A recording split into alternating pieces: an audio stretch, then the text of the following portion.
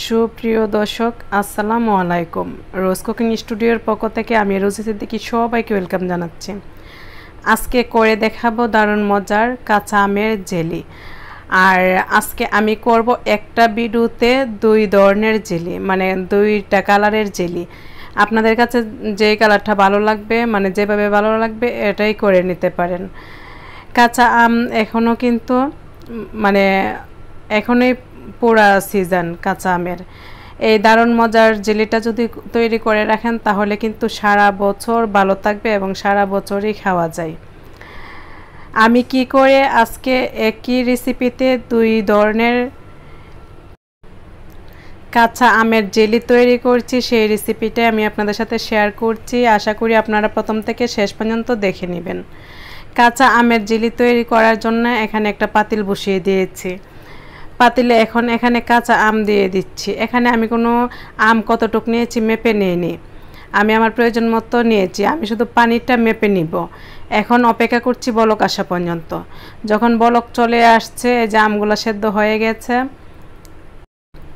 আর এই সেদ্ধ আম দিয়ে আমি একটা আচার রেসিপি আমি আপনাদের সাথে শেয়ার করেছি। এখন আমি একটা স্ট্রেনারে আমগুলাকে ছেঁকে নিব এবং যে পানিটা বের হবে, এই পানিটা দিয়ে কিন্তু আমি আজকে এই জেলিটা তৈরি করব। এখানে আমি কোনো ধরনের সেদ্ধ করা আম ব্যবহার করব না, শুধু পানিটাই ব্যবহার করব। এখন আমি একটা পাতিলে মেজারমেন্ট কাপের পাঁচ কাপ পানি নিয়েছি এই যে, এই মেজারমেন্ট কাপের পাঁচ কাপ সেদ্ধ করা আমের পানি নিয়েছি এখন আমি চিনি দিয়ে দিচ্ছি এখানে আমি পাঁচ কাপ পানি নিয়েছি মেজারমেন্ট কাপের যেই কাপে পানি নিয়েছি, ঠিক সেই কাপে আমি এখানে চিনি দিয়ে দিচ্ছি পাঁচ কাপ। এখন সামান্য একটু লবণ দিয়ে দিলাম, দিয়ে চিনিটাকে ভালো করে একটু নেড়ে চেড়ে পানির সাথে মিলিয়ে নিচ্ছি। এই পর্যায়ে কিন্তু চুলাটাকে আমি জ্বালিয়ে দিয়েছি এবং এভাবে একটু নেড়ে চেড়ে অপেক্ষা করব বলক আসা পর্যন্ত। এই যে বলক চলে আসছে। আবারও একটু নেড়ে চেড়ে দিচ্ছি। এভাবে করে কিছুক্ষণ জাল করে নিচ্ছি। চুলাটাকে হাইতে রেখে বেশ কিছুক্ষণ এভাবে জাল করে নিয়েছি। এখন এই পর্যায়ে দিয়ে দিচ্ছি ভিনেগার। এখানে আমি মেজারমেন্ট কাপের হাফ কাপ পরিমাণ ভিনেগার দিয়ে দিলাম। অবশ্যই কিন্তু এখানে ভিনেগারটা ব্যবহার করতে হবে।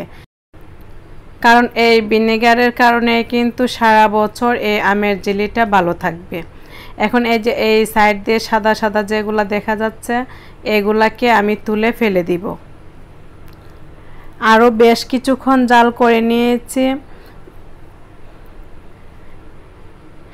এই যে এই যে সাইডে সাদাগুলা, এগুলাকে এরকম একটা স্টেনার দিয়ে আমি তুলে ফেলে দিচ্ছি। এর আগেও আমি কিছুটা এভাবে তুলে ফেলে দিয়েছি।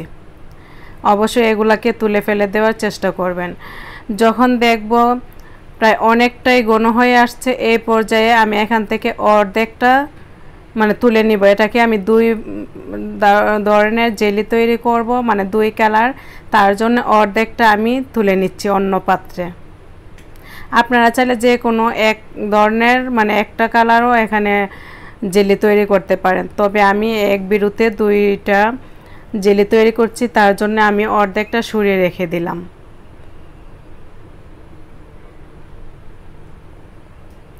আর এই বাকি অর্ধেকটাকে এভাবে আমি জাল করে নিচ্ছি। আবারও নেড়ে চেড়ে দিচ্ছি।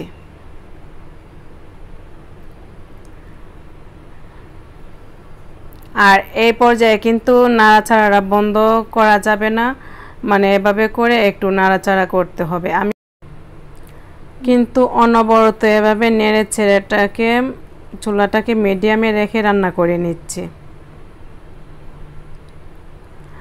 আবারও কিছুটা তুলে নিলাম।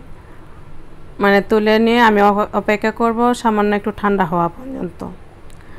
যখন জেলিটা একটু ঠান্ডা হয়ে যাবে, তখন আমি দেখে দিচ্ছি যে কতটা জমাট বেঁধেছে। মানে এটা কিন্তু জমাট, যখন ঠান্ডা হবে এরকম হবে। তাই এখন বুঝতে হবে যে জেলিটা আমাদের হয়ে গেছে। এই যে, এইরকম দেখতে হবে। এখন আমি চুলাটাকে বন্ধ করে দিয়ে একটা পাত্রে এই জেলিটাকে গরম গরম অবস্থা ঢেলে নিব। আর যে বাকি যে মিশ্রণটা এখানে রেখেছি, এটার মাঝে আমি গ্রিন কালার মানে কাঁচা আমের যে সবুজ কালার এটা করব, তার জন্য আমি একটু গ্রিন কালার দিয়ে দিলাম। মানে হালকা করে কয়েক ফোঁটা কালার দিয়ে দিলাম। আমি আবারও বলছি, এটা অপশনাল। যদি আপনারা কোনো ধরনের কালার ছাড়াই জেলি বানাতে চান, তাহলে শুধু এক ধরনের জেলি তৈরি করতে পারেন।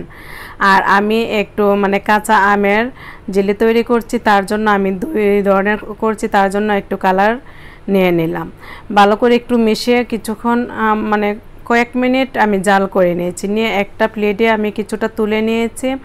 তুলে নিয়ে যখন একটু ঠান্ডা হবে তখন এই যে দেখতে পাবো, এটা কিন্তু জমাট বেঁধে গেছে। ঠান্ডা হওয়ার পর কিন্তু ভালো করে ঠান্ডা হলে এটা আরও একটু জমাট বেঁধে যাবে।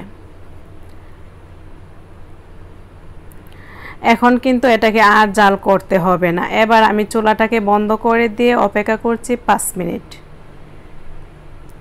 পাঁচ মিনিট অপেক্ষা করার পর এখন আমি একটা কাচের জারে এই জেলিটাকে ঢেলে নিব।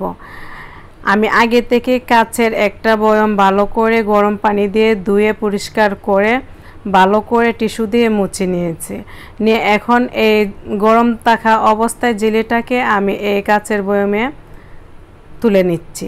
অবশ্যই জেলি কিন্তু ঠান্ডা হওয়ার পর কোনো পাত্রে রাখা যাবে না। গরম থাকা অবস্থায় কিন্তু যে পাত্রে রাখতে হবে সেই পাত্রে ঢেলে নিতে হবে। ফিরে আসছি ঠান্ডা হওয়ার পর। জেলিগুলা যখন সম্পূর্ণভাবে ঠান্ডা হয়ে যাবে, তখন কিন্তু এরকম হবে। এই যে জমাট বেঁধে গেছে। এখন আমি একটু তুলে দেখাচ্ছি। দেখুন কতটাই স্বচ্ছ আর কতটাই সুন্দর হয়েছে। সকালের নাস্তায় মানে ব্রেড দিয়ে কিন্তু এই জেলি খেতে অনেক ভালো লাগে। সকালে রুটির সাথে খেতেও এই জেলি অনেক ভালো লাগে, বাচ্চাদের কিন্তু খুব প্রিয়। তাহলে বাইরে থেকে কেন আর কিনে আনব? নিজেরাই কিন্তু গড়ে একটু সময় নিয়ে বাচ্চাদের জন্য এই রকম করে জেলি তৈরি করে রাখা যায়। আর পুরো বছর ধরে খাওয়া যাবে। আমি আশা করব আজকের এই জেলি তৈরি রেসিপিটা আপনাদেরও ভালো লাগবে। আর কেমন লাগল আজকের আমার এই জেলি তৈরি, অবশ্যই কিন্তু আপনারা কমেন্টস করে আমাকে জানাবেন। আসলে বাইরে থেকে কেমিক্যাল যুক্ত খাবার না খাইয়ে বাচ্চাদের জন্য যদি আমরা মায়েরা গড়ে একটু স্বাস্থ্যসম্মতভাবে খাবারগুলা করে দিতে পারি, তাহলে কিন্তু আমাদের মায়ের কাছে মানে আমরা যারা মায়েরা আছি, আমাদের কাছেও কিন্তু অনেক শান্তি লাগে, অনেক ভালো লাগে। তাই না?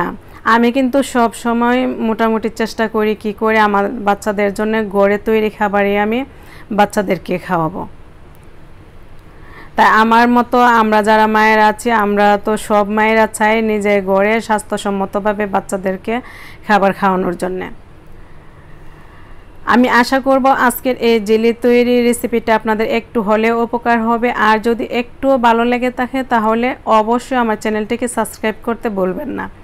আর যদি একটু উপকার হয়, তাহলে অবশ্যই একটা ছোট্ট করে কমেন্টস করে বলে দিবেন আপনাদের কেমন লাগল। তাহলে আজকে এ পর্যন্তই। সবাই ভালো থাকবেন, আমাদের জন্য দোয়া করবেন। আবারও নতুন কোনো রেসিপি নিয়ে হাজির হব। আল্লাহ হাফেজ